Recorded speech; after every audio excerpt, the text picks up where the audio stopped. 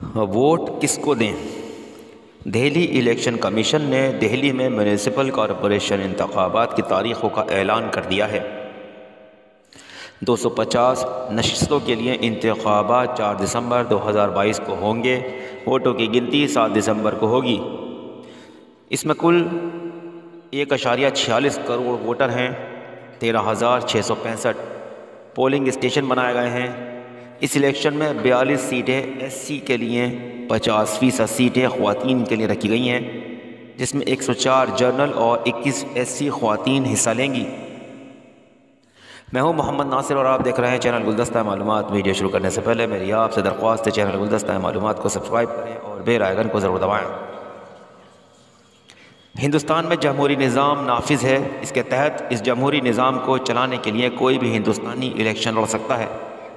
ऐसे मौके पर तमाम उम्मीदवार अपनी हकानियत के वादे करते हैं, लेकिन आवाम जानती है कि ये इंतबी प्रोपेगेंडा होता है। इसलिए हमें वोट डालते वक्त इस बात का ख्याल ज़रूर कर लेना चाहिए कि जिस उम्मीदवार को हम वोट डालने जा रहे हैं, वो हमारा अपना मुस्तबिल है। हमें ऐसे उम्मीदवार का इंतखब करना चाहिए जो झूठ व फरेब से इज्तनाब करे।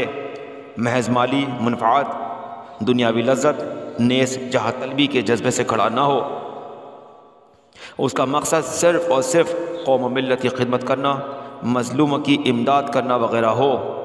हमें यह बात याद रखनी चाहिए कि ना अहल ालिम फासिक और गलत आदमी को वोट देना गुनाह अजीम है। इसी तरह एक अच्छे और नेक और काबिल आदमी को वोट देना सवाब ही नहीं, बल्कि फ़रीज़ा शरय है। हासिल यह है कि इलेक्शन वाले दिन हमें वोट ज़रूर डालना चाहिए।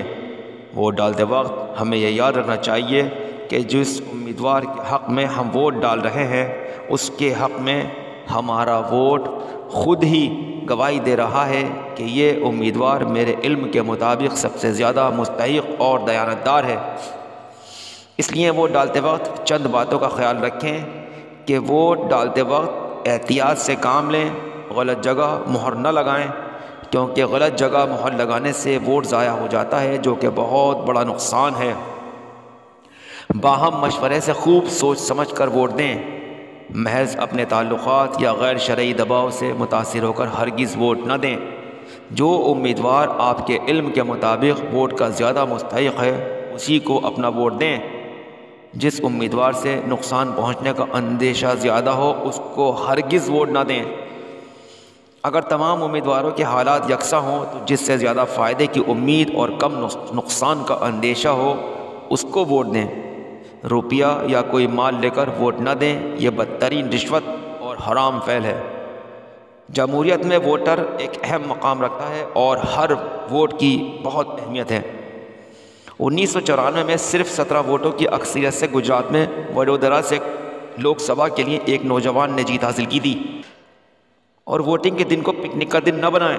अपने मुल्क, अपनी रियासत की बका के लिए वोटिंग के दिन को योम जमहूरीत की तरह मनाएँ और ऐसे उम्मीदवारों के हक़ में वोट डालें जो दौलत बटोरने की गरज से नहीं, बल्कि खदमात अंजाम देने के लिए आगे आते हैं। इलेक्शन का ऐलान होते ही अनगिनत पार्टियाँ और उम्मीदवार मैदान में आ जाते हैं और सब के सब गरीबों व पसमानदा लोगों की हमदर्दी का दम भरते हैं। सच यह है कि वोट डालने वाले दिन, वोट डालने वालों की सख्त आजमाइश का दिन होता है और मुसलमानों का तो ख़ास और असल इम्तहान होता है। हालाँकि मुसलमान वोटर पहले से ज़्यादा समझदार और होशियार हुए हैं और वो बखूबी जानते हैं कि कौन सी पार्टी और कौन सा उम्मीदवार मुल्क व मिलत के लिए बेहतर साबित होगा। तो आइए हम सब अपने मुल्क, अपनी रियासत और अपनी कौम के लिए दुआएँ करें। कि 4 दिसंबर 2022 को दिल्ली में होने वाले म्यूनसिपल कॉरपोरेशन के इलेक्शन से हर सू अमन व अमान हो, तरक्की हो, हर शहरी को उसका हक़ मिले और ज़िंदगी खुशहाल हो। आमीन सुम आमीन। आज बस इतना ही।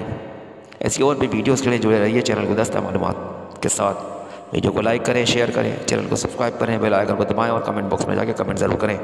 इसी के साथ मैं मोहम्मद नासिर अपने चैनल को दस्ता मालूम के साथ आपसे इजाज़त चाहता हूँ। शुक्रिया, अल्लाह हाफ़